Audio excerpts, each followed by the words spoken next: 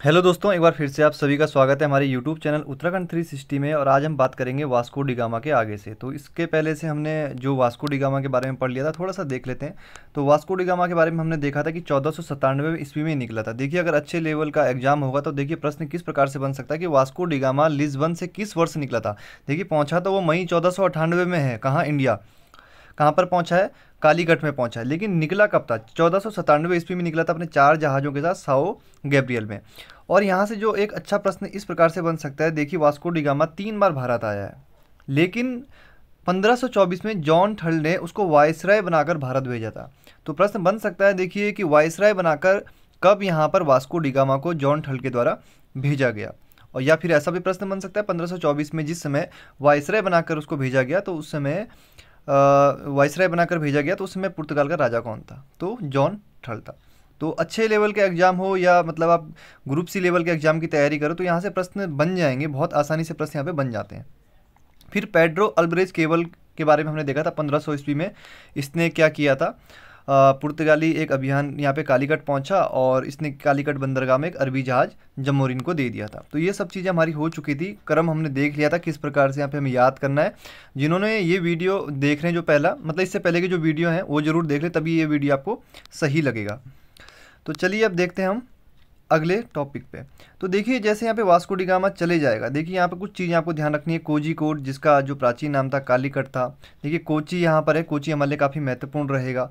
जिसका क्या है, उस समय क्या नाम हुआ करता था? कोचीन नाम हुआ करता था। और कोचीन को क्या कहा जाता है? अरब सागर की रानी कहा जाता है। तो इसीलिए क्या था पुर्तगालियों का मेन टारगेट क्या था कि हमें कोचीन पे भी क्या करना है, अपना कब्जा करना है। और आगे हम देखेंगे कि यहाँ पे मुख्यालय भी किसको बना देते हैं? कोचीन को बना, बनाते हैं। जब अल्बू कर्क आएगा तो क्या करेगा? कोचीन को अपना मुख्यालय बनाएगा या राजधानी बनाएगा। तो अरब सागर की रानी। तो यानी कोचीन पर जिसका कब्जा हुआ, काफ़ी पावरफुल माना जाता था उस समय। तो चलिए यहाँ पर कोची हमने देख लिया कोजी देख लिया। और यहाँ पर हमें थोड़ा सा ध्यान रखना है सूरत थोड़ा ध्यान रखेंगे और मुंबई, महाराष्ट्र हमें ध्यान रखना है। तो इसके बाद क्या होगा, यहाँ पर जो पुर्तगाली क्या है, राजा हैं, वो क्या करेंगे अब? यहाँ पर गवर्नर भेजेंगे, कहाँ? भारत में। भारत में क्या करेंगे, वो गवर्नर भेजेंगे। और इसी क्रम में जो पहला गवर्नर आएगा, वो होगा अलमीरा। हम नोट्स में लिखेंगे इसको आगे से, लेकिन थोड़ा सा एक फिगर अपने दिमाग में बना लेते हैं अच्छे से। तो अलमीरा को क्या करेंगे? ये भेजेंगे यहाँ पर गवर्नर बनाकर। 1505 ईस्वी में आएगा और 1505 से 1509 तक इसका टाइम पीरियड रहेगा। तो हालाँकि इसको भेजा गया था तीन वर्ष के लिए। थोड़ा सा डिटेल में हम आगे देखेंगे क्यों इसका टाइम पीरियड हमें बढ़ता है। तो पहला पुर्तगाली गवर्नर कौन है? अलमीडा है। सबसे महत्वपूर्ण प्रश्न, महत्वपूर्ण प्रश्नों में से एक है ये। अब अलमीडा को यहाँ पर ये कह के भेजा गया था कि आपको क्या करना है? समुद्र पर, इस वाले इलाके पर, समुद्र पर अपना प्रभुत्व स्थापित करना है। तो इसने क्या किया था? अलमीडा ने एक शांत जल की नीति अपनाई थी। ब्लू वाटर पॉलिसी जिसको हम कहते हैं।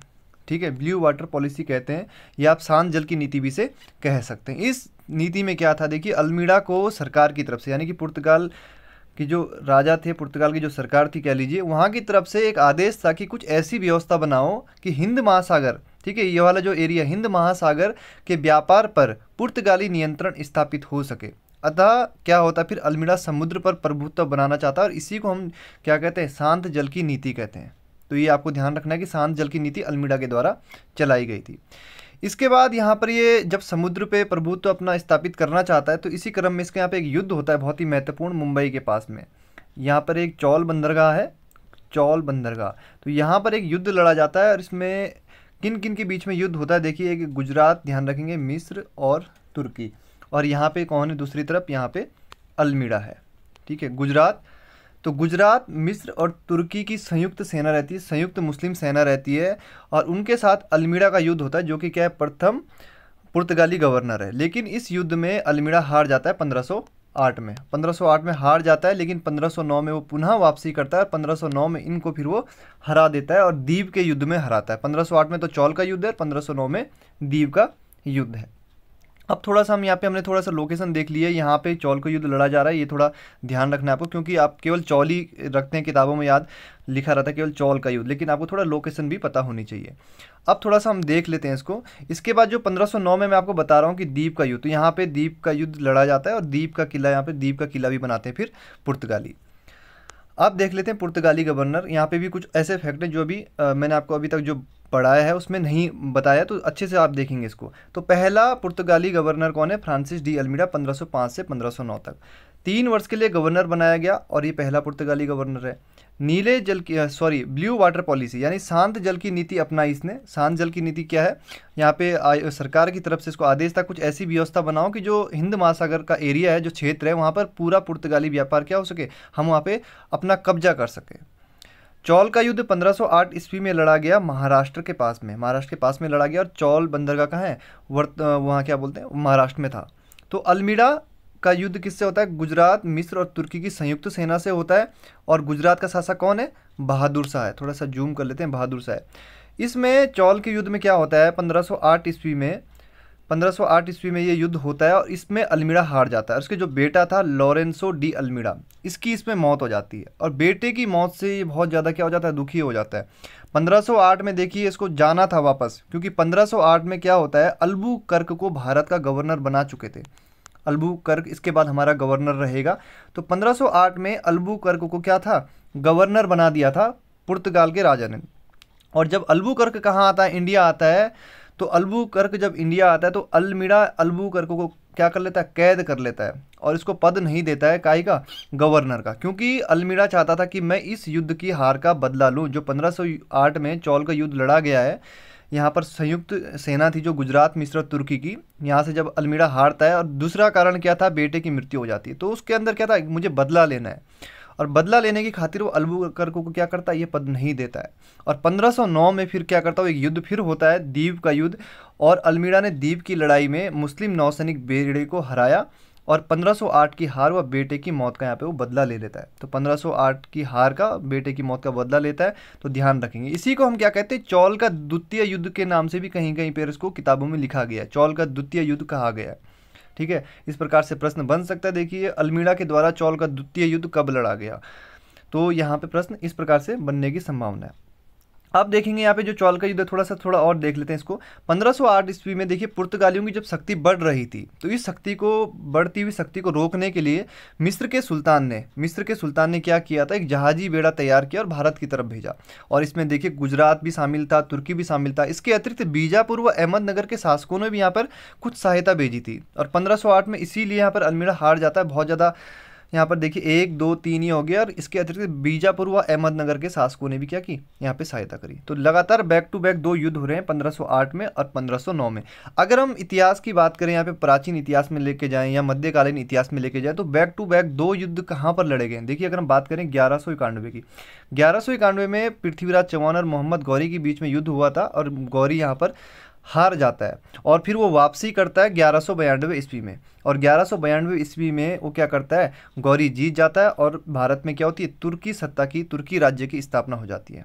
तो ग्यारह सौ इक्यानवे में पृथ्वीराज चौहान जब गौरी को हरा देते हैं तो उसे माफ़ कर देते हैं। और गौरी एक साल तक कड़ी मेहनत करता है और ग्यारह सौ बयानवे में वापसी करता है। और यहाँ पर किसको हरा देता है? पृथ्वीराज चौहान को हरा देता है। बैक टू बैक युद्ध हुए हैं। देखिए यहाँ पे 1508 में ये हार गए अल्मीड़ा 1509 में जीत गए ठीक उसी प्रकार से देखेंगे पृथ्वीराज चौहान यहाँ पर जीत गए थे पहले, लेकिन बाद में हार गए। बैक टू बैक युद्धों की अगर हम बात करें तो पंद्रह और चालीस के दो युद्ध बहुत महत्वपूर्ण है, पंद्रह और पंद्रह पंद्रह में देखिए, चौसा का युद्ध लड़ा गया था, हुमायूं और शेरशाह के बीच में, जहाँ पे हुमायूं क्या करता है, हार जाता है। फिर बैक टू बैक दूसरा युद्ध 1540 में होता है, कन्नौज का युद्ध, जिसे हम बिलग्राम के युद्ध के नाम से जानते हैं तो यहाँ पे भी हुमायूं हार जाता है। तो तीन ऐसे युद्ध मैंने आपको बता दी जो लगातार हुए। और शासक क्या थे? सेम ही थे। यहाँ पे देखिए यही बाद में रहते हैं अलमीड़ा भी बाद में रहता है पंद्रह सौ उनचालीस चालीस में भी हुमायूं शेरशाह का चालीस में भी फिर हुमायूं शेरशाह का ग्यारह सौ इक्यानवे बयानवे में मैंने आपको बताई दिया। तो यहाँ से देखिए प्रश्न कई बार जो सबसे ज़्यादा प्रश्न बनता है चाहे आप आ, किसी भी एग्ज़ाम को उठा के देखेंगे तो ब्लू वाटर पॉलिसी शांत जल की नीति किसके द्वारा अपनाई गई थी? यह प्रश्न सबसे ज़्यादा बनता है एग्ज़ाम में तो ये आपको ध्यान रखना है। अब यहाँ पे अगला फैक्ट है 1505 में अंजाडीवा, कन्नूर तथा किलवा में दुर्ग स्थापित किए। इतना महत्वपूर्ण फैक्ट है, ये बहुत ही हाई लेवल का एग्ज़ाम होगा तो वहाँ पे ये प्रश्न बनने की संभावना है। ग्रुप सी के हिसाब से यूके के हिसाब से भी नहीं है इतना महत्वपूर्ण, लेकिन अगर आप अच्छे लेवल की तैयारी कर रहे हैं, जैसे के हो गया एन हो गया, या यूपी पीजीटी में प्रश्न पूछा जा सकता है प्रवक्ता के एग्ज़ाम में तो पंद्रह में अंजावीड़ा, कन्नूर तथा किलवा में यहाँ पर दुर्ग क्या हुए थे? स्थापित किए गए थे। अब हमारा अगला जो है दूसरा गवर्नर है अल्बुकर्क। सबसे ज़्यादा महत्वपूर्ण, देखिए इसको क्या क्या उपाधियाँ दी गई है। पूर्व का सीजर, सागरों का शेर पुर्तगाल का मंगल, ये सब उपाधियाँ किसको दी गई है? अल्बुकर्को को दी गई है। क्योंकि देखिए पुर्तगाली शक्ति का या पुर्तगाली साम्राज्य का वास्तविक संस्थापक था और वास्तविक संस्थापक इसको क्यों कहा गया, उसको हम डिटेल में भी देखेंगे। तो यहाँ पे देखेंगे हम, कोचीन को इसने मुख्यालय राजधानी बनाया। देखिए, कोचीन, मैंने आपको बताया ही है कोचीन के बारे में, जिसका अब वर्तमान नाम क्या हो चुका है? अब कोची है। और ये कहाँ पड़ता है? केरल में पड़ता है। इसको ही हम क्या कहते हैं? अरब सागर की रानी कहते हैं। तो कोचीन पे कब्जा आना अपने आप में एक बहुत बड़ी बात थी। और कोचीन को ही क्या करता है? ये अल्बुकर्क मुख्यालय बनाता है और राजधानी बनाता है। ये प्रश्न भी एग्ज़ाम में बहुत बार पूछा जा चुका है। अगर हम अल्बुकर्क की बात करें, देखिए 1503 ईस्वी में ये भारत आ गया था कमांडर के रूप में और कोचीन में पहले पुर्तगाली दुर्ग का निर्माण किया। ये मैंने आपको बता ही दिया यहाँ पर। तो 1503 ईस्वी में क्या है ये भारत आ चुका था? 1508 ईस्वी में इसको क्या बनाया गया था? गवर्नर बनाया गया था। लेकिन मैंने आपको बताया था कि जो इससे पहले अलमीड़ा था, उसने क्या कर लिया था? अल्बुकर्को को कैद कर लिया था, क्योंकि वो क्या करता, क्या चाहता था? अपनी चौल की हार का बदला लेना चाहता था। इसके बाद हम देखेंगे अगला फैक्ट है जो 1510 में। 1510 में बीजापुर के सुल्तान यूसुफ आदिल शाह से गोवा जीता। तो देखिए, बीजापुर के सुल्तान यूसुफ आदिल शाह के कंट्रोल में था उस समय गोवा और यहाँ से गोवा जीत लेते हैं कौन? पुर्तगाली। और किसके समय हो रहा है काम? अल्बुकर्क के समय। अगर हम गोवा की बात करें दोस्तों, देखिए 1510 ईस्वी में यहाँ पर गोवा को क्या कर रहे हैं? जीत रहे हैं। और कब तक इस पर कब्जा रहेगा? उन्नीस सौ इकसठ ईस्वी तक इसमें कब्जा रहेगा। लगभग लगभग ये मान के चलिए, साढ़े साल तक पुर्तगालियों ने गोवा पे कब्जा करके रखा था। और अगर हम बात करें आज़ादी की, जब हम आज़ाद हो चुके थे, उसके बाद भी ये क्षेत्र हमारे पास नहीं आया था। और जब 1961 में भारतीय सेना ने यहाँ पे एक ऑपरेशन विजय अभियान चलाया था। कौन सा अभियान? ऑपरेशन विजय अभियान। ये चाहें तो आप लिख सकते हैं नोट में अलग से। तो 1961 में यहाँ पे कौन सा विजय अभियान चलाया था? भारतीय सेना ने ऑपरेशन विजय अभियान चलाया। तिथि भी लिख लीजिएगा, उन्नीस दिसंबर। तो 19 दिसंबर 1961 को ऑपरेशन विजय अभियान चलाया गया। और उस समय यहाँ पर पुर्तगाली जो गवर्नर कौन थे? De Silva. ठीक है, ध्यान रखेंगे क्या नाम था? De Silva. पूरा नाम भी लिखना चाहें तो लिख सकते हैं। Vassalo de Silva. तो ये पुर्तगाली, अंतिम पुर्तगाली गवर्नर कह लीजिए। क्योंकि उन्नीस सौ इकसठ में जब भारतीय सेना यहाँ पे विजय अभियान चलाएगी, ऑपरेशन विजय अभियान तो जो ये वास्ले डी सिल्वा है, ये क्या करेगा? वास्लो डी सिल्वा, ये सरेंडर कर देगा। तो अपनी हार मान लेगा ये, और 1961 में फिर क्या होता है, गोवा भारत में शामिल हो जाता है केंद्र शासित प्रदेश बनता है। उसके बाद हम देखते हैं कि उन्नीस सौ सतासी में गोवा को क्या मिलता है, फिर राज्य का दर्जा मिलता है। तो 19 दिसंबर 1961 का दिन हमारे लिए बहुत महत्वपूर्ण है, क्योंकि देखिए इस दिन क्या हुआ था, गोवा भारत में शामिल हो गया था। और 19 दिसंबर को इसलिए गोवा का मुक्ति दिवस मनाया जाता है। गोवा मुक्ति दिवस कब मनाया जाता है? 19 दिसंबर को गोवा मुक्ति दिवस मनाया जाता है। तो देखेंगे 1510 में गोवा यहाँ पर जीत लिया है किसने? अल्बुकर्क ने, और ये बहुत ही महत्वपूर्ण प्रश्न है। ये भी एग्ज़ाम में कई बार बनता है। तो इसको याद कैसे कर सकते हैं आप? देखिए थोड़ा सा अगर मैं कोचीन की बात करूँ यहाँ पर कि कोचीन की स्थापना कब हुई थी? देखिए कोचीन में दुर्ग की पंद्रह में। देखिए कोचीन में कितने शब्द हैं कोचीन, तीन हो रहा है ना? तो लास्ट में भी क्या है? देखिए तीन है। तो इस तरीके से आप याद कर सकते हैं। तो 1503 अब इतना तो आपको थोड़ा सा 1500 इतना याद ही रखना पड़ेगा यार, इतना तो कर सकते हैं आप। तो कोचिन में कितने हो रहे तीन शब्द। तो लास्ट के यहाँ पे क्या है? तीन है तो इस प्रकार से आप याद कर सकते हैं, ठीक? अगर हम बीजापुर के सुल्तान से कब ये गोवा जीता गया? दस में।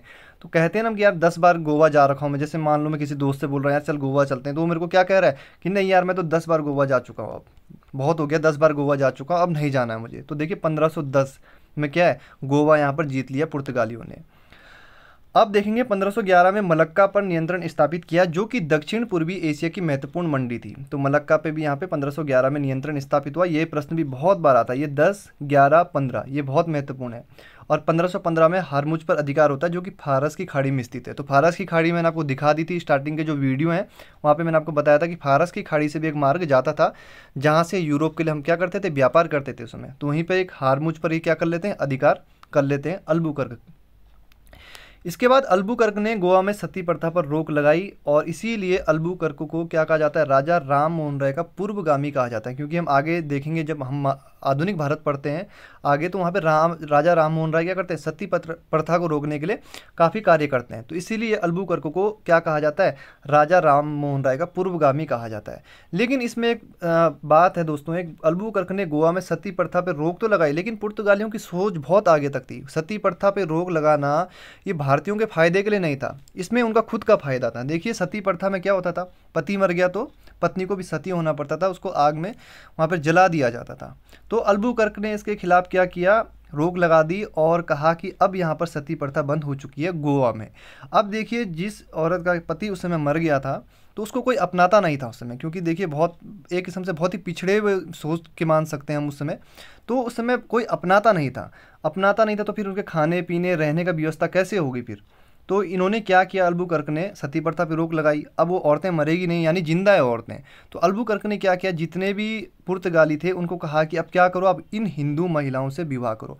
तो मैक्सिमम उन महिलाओं से विवाह हुआ, जिन, जो क्या थी? सती हो चुकी थी। जिससे क्या हो?